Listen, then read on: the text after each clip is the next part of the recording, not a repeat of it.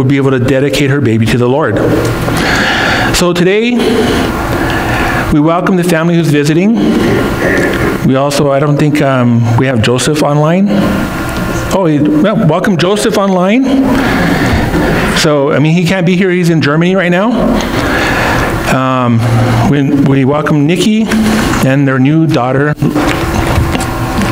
Maya Luce. And I'm going to go down there, that way you guys don't have to come up here.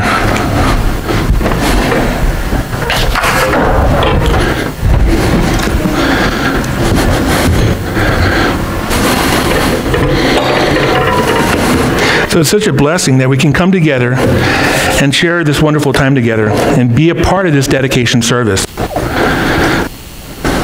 Today, Nikki and the family have um, come to give thanks for, for Lucy, and we'll, as we'll be dedicating Lucy to the Lord and praying that she would come to know and serve Him with her life.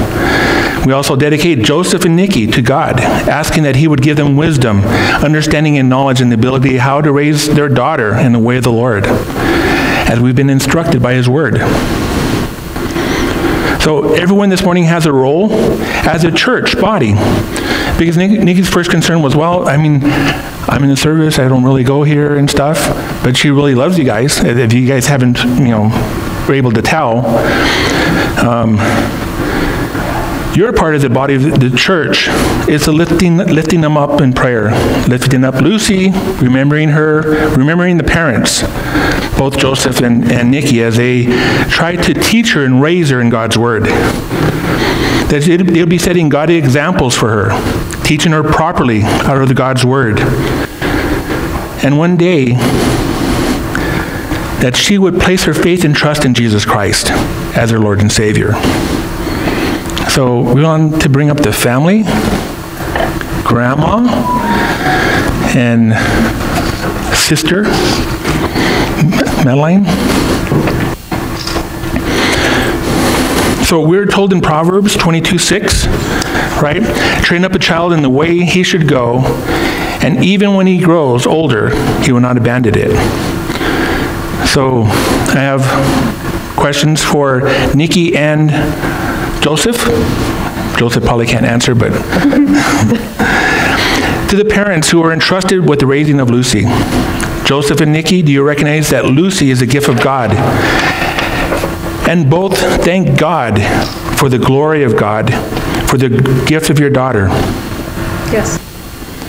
Do you accept the joys and responsibility of parenting, promising to give proper love and care to Lucy throughout her life according to God's word? Yes. Will you help God with, with the help God provides? Do you commit to teach Lucy the faithfulness of God's word and demonstrate through your own example and witness what it means to love God with all your heart, soul, and strength. Yes. Now to the congregation. Will you offer ongoing love, support, and prayers and encouragement to Joseph and Nikki in their roles as Lucy's parents? Will you also be faithful in praying for Lucy and as much as you can are able to help teach and set a godly example for her so that she might one day come and trust, come to trust the Lord Jesus Christ as her Lord and Savior. So we have Madeline here. She's in our culture we have well in there's godmothers in american culture too right so she's agreed to be uh, if something happens to Nick, nikki to be um, lucy's godmother to protect her and watch over her. Do you have the same? Yeah, yeah. Okay. Yes, of course. so here we have Lucy. We're going to pray for her and pay for the parents, and we'll go from there. Please bow your heads. Heavenly Father, we just thank so much for Lucy. May you bless her and keep her, Heavenly Father. May she, your face shine upon her and may you be gracious to her. May she one day come, Heavenly Father, to know who you are and, sit and serve you as Lord and Savior. May both her parents take upon the role that they need to do in the spiritual raising and to take this role seriously, to provide the example and the teaching and guidance that she will need. We also ask Heavenly Father to guide us as a body, the church, in lifting Lucy up in prayer and the parents who are involved in this raising spiritually. And we thank you, Holy Father, just for this opportunity that we have to be here and to glorify you in your presence. We pray these things in your personal name of Jesus Christ. Amen. So on behalf of the church family, is she sleeping? She's sleeping. Uh, we present and dedicate uh, Maya Luce to the Lord Jesus Christ.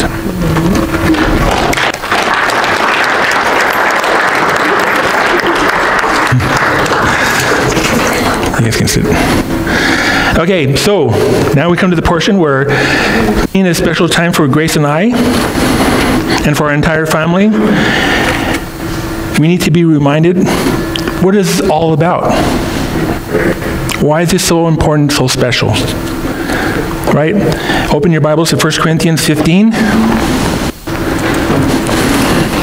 1 to 8, we're going to look at. 1 Corinthians 15, 1 to 8. This is why it says this is important. Here the Apostle Paul shares this truth. Now I make known to you, brothers and sisters, the gospel which I preached to you, which I, you also received, in which you also stand, by which you are also saved. If you hold firmly to the word which I preached to you, unless you believe in vain, for I handed down to you the first in importance which I also received, that Christ died for our sins according to the Scripture, that he was buried, and that he raised on the third day according to the Scriptures, and that he appeared to Cephas, then to the twelve, then he had appeared to more than 500 brothers and sisters at one time, in whom remain until now. But I have, but some have fallen asleep. Then he appeared to James, and then to all the apostles, and last to all to the one untimely born, he appeared to me also. This morning, as we come to the Lord's table, communion is for any person who has believed by placing their faith and trust in Jesus Christ alone for their salvation. My personal belief is that if you've done this, you made a profession of faith within the public forum, which is baptism. We are told in Romans 1 16 and 17, it says, For I am not ashamed of the gospel, for it is the power of God for salvation to anyone who believes, first the Jews, and also the Greek. For it is the righteousness of God revealed from faith to faith, as written. But the righteousness, one will live by faith. I also feel it's my responsibility to you that you should have, if not done so yet, examine yourself to see who you are in your relationship to Christ. Not only with Christ, but also your fellow believers in Christ, your brothers and sisters. I mention this because it's a serious matter. We're told in 1 Corinthians 11, 27 to 29. Whoever eats of the bread and drinks of the cup of the Lord in an unworthy way shall be guilty of the body and the blood of the Lord. But if a person but a person must examine himself, and in doing so he is to eat of the bread and drink of the cup. For the one who eats and drinks eats and drinks judgment to himself if he does not properly recognize the body.